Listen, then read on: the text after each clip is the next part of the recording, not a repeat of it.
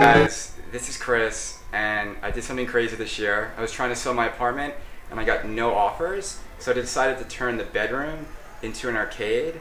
We've got Tron, Miss Pac-Man, Fix-It Felix Jr., Donkey Kong Punch-Out, and a Street Fighter 2 pedestal that plays 25,000 games.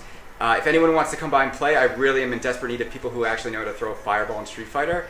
Just email me at bedroomarcadenyc at gmail.com. Again, that's bedroomarcadenyc at gmail.com. Yeah, no?